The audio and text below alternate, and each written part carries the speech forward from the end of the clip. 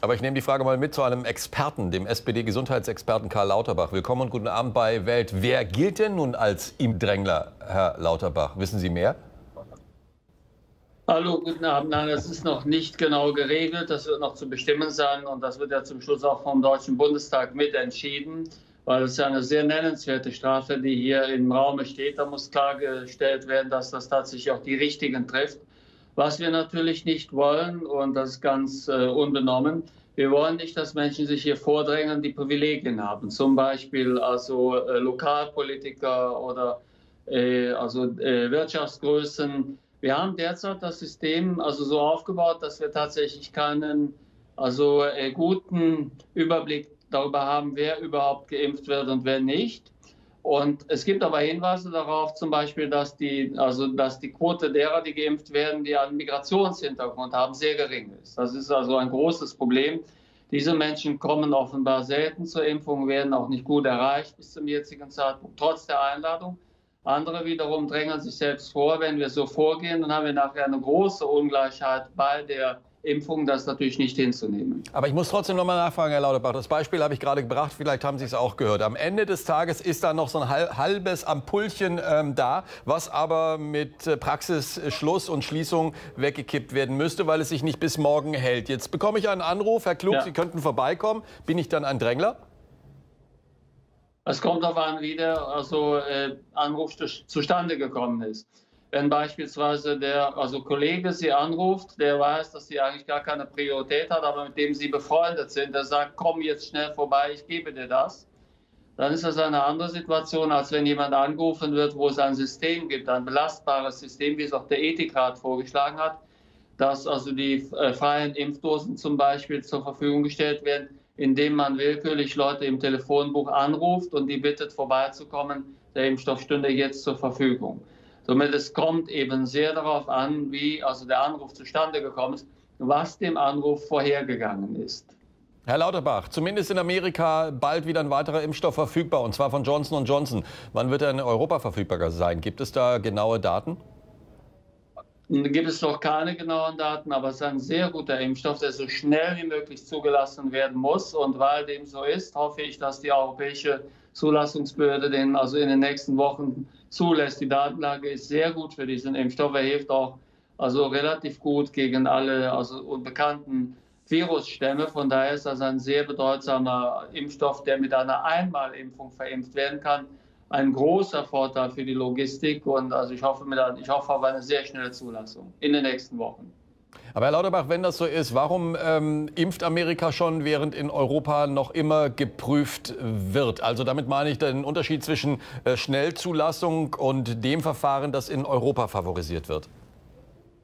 Das Verfahren in Europa ist ja ein anderes. Da wird eben die Schnellzulassung nicht gemacht, sondern da wird regulär zugelassen. Das hat dann den Vorteil, dass also, wenn es zu Impfschäden kommt, die ja sehr selten sind, die wir eigentlich gar nicht beobachten, dann der Hersteller in die Haftung geht und also nicht also der Staat. Aber tatsächlich ist es so, dass also das europäische Verfahren hier relativ langsam ist. Und äh, das sollte aus meiner Sicht auch überdacht werden, ob wir bei diesem Verfahren bei Neuzulassungen bleiben, denn wir werden ja tatsächlich hier auch Nachzulassungen auch für die Boosterimpfungen benötigen. Mir persönlich ist das Verfahren auch zu langsam, das gebe ich ehrlicherweise zu. Ich glaube nicht, dass die Prüfung in Europa gründlicher ist als die Prüfung in den Vereinigten Staaten. Und somit also ist das begründungsbedürftig, daran muss gearbeitet werden. Es ist, gibt keine Vorteile von der langsameren Prüfung. Mhm. Jetzt gibt es in Deutschland erste Öffnungsversuche, Schulen und Kitas. Wie lange geben Sie diesem, ich nenne es mal, Versuch ähm, mit Blick darauf, dass die Virusmutationen sich ja sehr, sehr viel schneller ausbreiten?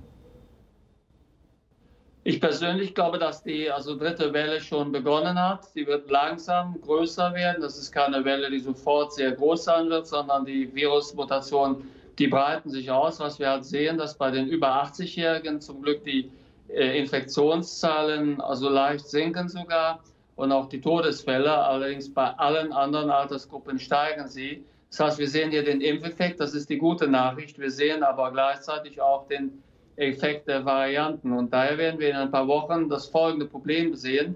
Die also Pandemie wird sich zunehmend verlagern, weg aus den über 80-Jährigen, weg aus den Pflegeeinrichtungen. zu den 50, 55 bis 75-Jährigen. Und dort wird es sehr viele Infektionen mit schwerem Verlauf geben bei denjenigen, die Risikofaktoren haben, wie zum Beispiel Übergewicht, Diabetes oder andere Erkrankungen. Dann gehe ich mal davon aus, dass Sie nicht unbedingt ein Fan davon sind, dass ab kommender Woche das ein oder andere Bundesland äh, über weitere Öffnungen nicht nur nachdenkt, sondern die auch zulassen will. Das ist natürlich ein großes Risiko. Ich würde das für falsch halten, denn wenn man in eine beginnende dritte Welle hinein öffnet, dann also ist man hier noch zu früh dran. Wir werden die über 80-Jährigen erst in ungefähr fünf bis sechs Wochen komplett geimpft haben, also die Impfwilligen natürlich. Dann fangen wir erst mit den Risikogruppen an und wenn wir hier eine starke Zunahme der Fälle haben, in der, äh, der Risikogruppe, insbesondere der 55 bis 75-Jährigen, dann wird es auch sehr viele sehr schwere Verläufe geben. Die werden sich in der Statistik später zeigen, weil es eben lange dauert, bis so ein Mensch, der in der Altersgruppe ist, sehr schwer erkrankt.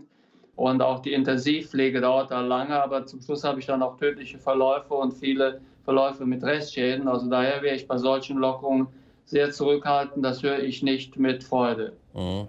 Eine Frage noch zu den Schnell- und Selbsttests, die ja kommen werden. Äh, können die tatsächlich das Infektionsgeschehen beeinflussen und wenn ja, wie? Die können das, also die Schnelltests können das Infektionsgeschehen beeinflussen. Sie müssen aber schlau eingesetzt werden.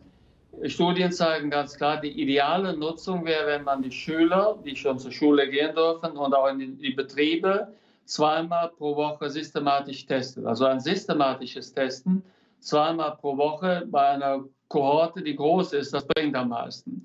Wenn ich die Tests hingegen also mache, äh, in Testzentren oder beispielsweise einfach in der Drogerie werden die verkauft. Bei jedem, der meinetwegen kleine Symptome hat oder bei jedem, also wird dann eingesetzt, der also etwas vorhat, beispielsweise eine Party oder was auch immer, dann habe ich natürlich die Gefahr, dass ich damit sehr viele Ausbrüche äh, nicht wirklich also mehr registriere, weil die Gefahr ist dann die, dass diejenigen, die positiv testen, sich erstmal nicht in medizinische Versorgung bringen, dass das Gesundheitsamt gar nicht zum Tragen kommt, dass vielleicht gar kein PCR gemacht wird, dass die Betroffenen erstmal versuchen, das alleine wegzubekommen, dass sie also versuchen, mit weiteren Schnelltests in den Griff zu bekommen, dass, sie, also dass die Ansteckung vorbeigeht.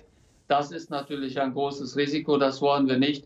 Daher eine wirklich kluge Teststrategie mit Schwerpunkt, die Tests wirklich in die Schulen zu bringen, dass sie dorthin gebracht werden und in die Betriebe. Das wäre sehr viel sinnvoller.